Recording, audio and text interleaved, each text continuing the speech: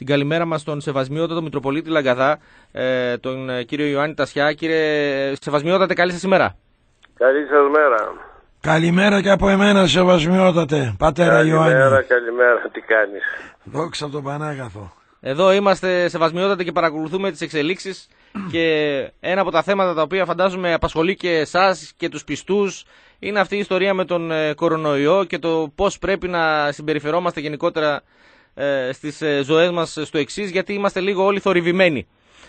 Τι λέει η Εκκλησία μας; Κοιτάξτε, η Εκκλησία καταρχήν εκείνο το οποίο συνιστά είναι να εφαρμόζει ο κάθε άνθρωπος, ο κάθε πιστός, ο κάθε πολίτης τα όσα τα υπεύθυνα όργανα της πολιτείας συνιστούν. Από εκεί και πέρα βέβαια οι ιώσεις δεν είναι ένα φαινόμενο που εμφανίστηκε σήμερα. Πάντοτε υπήρχαν, πάντοτε υπάρχουν και θα υπάρχουν. Αντιμετωπίστηκαν και αντιμετωπίζονται.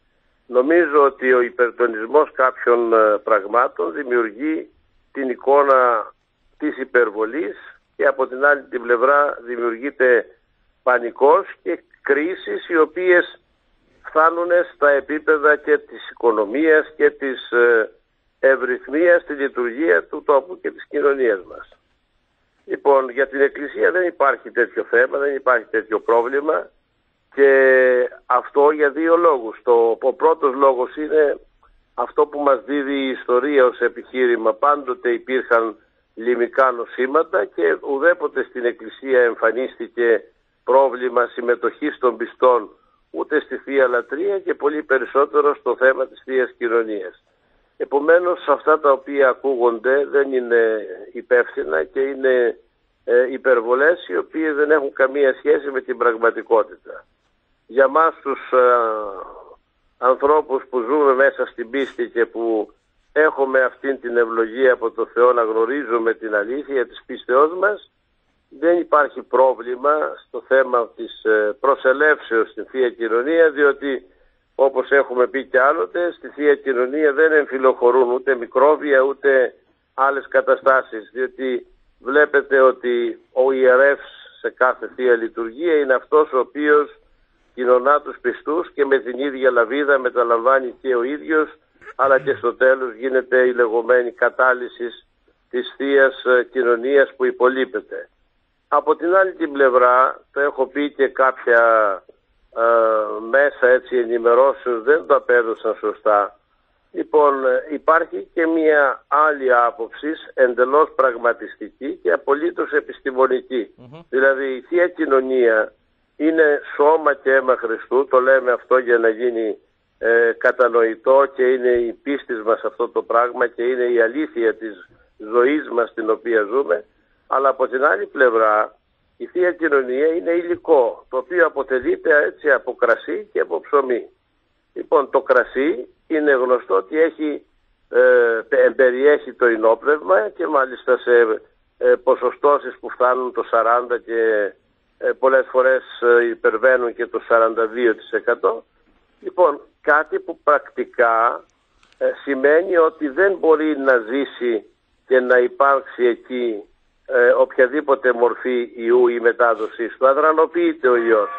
Από την άλλη την πλευρά, ο χρυσός και ο άργυρος που είναι δύο μέταλλα που χρησιμοποιούνται στην κατασκευή των ε, ε ιερών Αγίων Ποτηρίων και της ε, Λαβίδος με την οποία προσφέρεται η Θεία Κοινωνία στους πιστούς. Λοιπόν, έχουν, έχουν όντα τέτοια αυτά τα μέταλλα που αδρανοποιούν πάσης φύσεως ιούς. Λοιπόν, επομένως και από πλευράς επιστημονικής δεν υπάρχει πρόβλημα που να στηρίζει την οποιαδήποτε επιχειρηματολογία περί της αποχής αλλά κυρίως και το υπογραμμίζω αυτό η ζωή της Εκκλησίας, η ζωή των 2.000 χρονων δεν έχει ένα προηγούμενο το οποίο να μας δίδει μια τέτοια εικόνα ή μια τέτοια μαρτυρία. Επομένως δεν υπάρχει κανένα πρόβλημα. Αυτό να το κατανοήσουν απόλυτα οι πιστοί ε, Χριστό αδελφοί μας. Και από την άλλη πλευρά εκείνο το οποίο θα ήθελα να συστήσω εγώ σε όλους, είτε πιστεύουν είτε δεν πιστεύουν, είναι ότι οι υπερβολές σε τέτοιου είδους θέματα και οι αντιμετωπίσεις των όχι με ψυχραιμία, λοιπόν δημιουργούν περισσότερα προβλήματα από ότι αυτό το ίδιο το πρόβλημα της παρουσίας του ιού.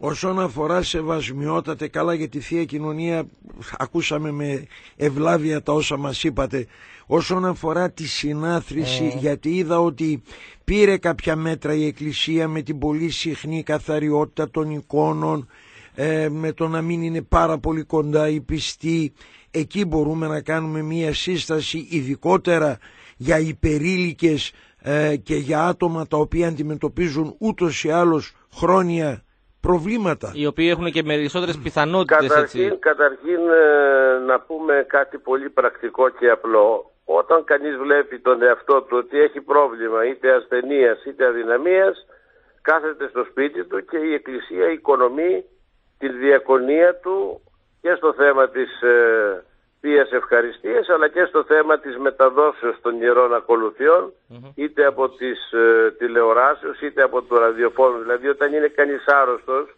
ούτως ή άλλως δεν πηγαίνει στην εκκλησία και ούτως ή άλλως ε, αποτρέπεται με σύσταση η συμμετοχή του σε μια τέτοια συνάθρηση διότι ούτε είναι ευχάριστο το γεγονός να βλέπουμε την ώρα της λειτουργίας ή της ακολουθίας να πέφτει ο άλλος από λιποθυμία ή να ζαλίζεται και να μην μπορεί να σταθεί ή να μην μπορεί να περπατήσει. Λοιπόν, ε, οίκοθεν εννοείται ότι υπάρχει ημέρημνα προς αυτές τις περιπτώσεις η ποιμαντική της Εκκλησίας. Αλλά από την άλλη πλευρά η Εκκλησία μας ε, και έχετε δίκιο σε αυτό, τις ημέρες αυτές μπορεί να λαμβάνει ιδιαίτερα μέτρα εις ό,τι αφορά τον αερισμό του χώρου των, ε, των ναών. Δηλαδή οι ναοί μας από την κατασκευή τους αρχιτεκτονικά και δομικά έχουν συστήματα που διευκολύνουν τον εξαερισμό και το ύψος το οποίο υπάρχει ε, δίδει τέτοια δυνατότητα και τέτοια ευκαιρία να γίνεται αυτό σε άμεσο έτσι, χρονικό διάστημα. Και να Σεβασμιότατε. μην υπάρχει αυτή η ανακύκλωση σε συχνότητα τέτοια που να ευνοεί την μετάδοση του ιού ή των ε, άλλων ας πούμε μικροβίων αλλά από την άλλη πλευρά βεβαίως πρέπει να ληφθούν κάποια μέτρα καλύτερος Ωραία. αερισμός, Είστε κατα, καλύτερος καθαρισμός κατατοπιστικότατος, κατατοπιστικότατος. Μία τελευταία μόνο ερώτηση. Ε, έχουμε εκδρομές οι οποίες προγραμματίζονται ή έχουν παγώσει προς τους Αγίους Τόπους εδώ από Θεσσαλονίκη από ενορίες οι οποίες έχουν διοργανωθεί; Δεν έχω μια εικόνα αυτή τη στιγμή για να σας πω υπεύθυνα. Μάλιστα. Συνήθως σε αυτές τις περιόδους διοργανώνονται εκδρομές αλλά περισσότερο το καλοκαίρι. Μάλιστα. Νομίζω ότι στα θέματα αυτά θα πρέπει να υπάρξει μια ψύχρεμη αντιμετώπιση και το καλύτερο είναι η πρόληψη, δηλαδή να υπάρξει μια προληπτική αγωγή και με τα όσα θα πούμε στα παιδιά μας και με τα όσα θα πούμε στον λαό μας ε, προκειμένου να μην υπάρξει ούτε πανικός ούτε απώλεια της ψυχραιμίας διότι επαναλαμβάνω η ζημιά η οποία προκύπτει από μια τέτοια περίπτωση και από μια τέτοια εκδοχή είναι μεγαλύτερα από αυτή που επιφέρει ο, ο ιός στην ζωή μας και στην ε, υγεία μας. Διότι για σκεφτείτε να μπούμε σε μια τέτοια διαδικασία η οποία θα νεκρώσει και την οικονομία και τη ζωή στις πόλεις και σε όλους τους ε, χώρους όπου κινείται ε, είτε η νεολαία μας, είτε ο λαός μας, είτε η ε, μεγάλη της τρίτης ηλικίας, είτε στις εκδρομές, δηλαδή ουσιαστικά νεκρώνεται η οικονομική ζωή, η κοινωνική ζωή, χωρίς να υπάρχει αυτός ο κίνδυνος στη διάσταση που τον προσδιορίζουμε. Να είστε και αυτό καλά. επίσης το οποίο ακούγεται καθημερινά, τόσοι πεθάνανε, τόσοι πεθάνανε. Λοιπόν, ε, δηλαδή έχει, δεν, είναι, δεν είναι τόσο, δηλαδή ε, δεν νομίζω, καθημερινά επί παραδείγματος χάρη γίνεται ε, μία ενημέρωση πόσοι πεθαίνουν από καρκίνο, ή πόσοι πεθαίνουν από καρδιά, ή πόσοι πεθαίνουν από εγκεφαλικό, ή πόσοι πεθαίνουν από τη γρήπη παγκοσμίως. Ναι.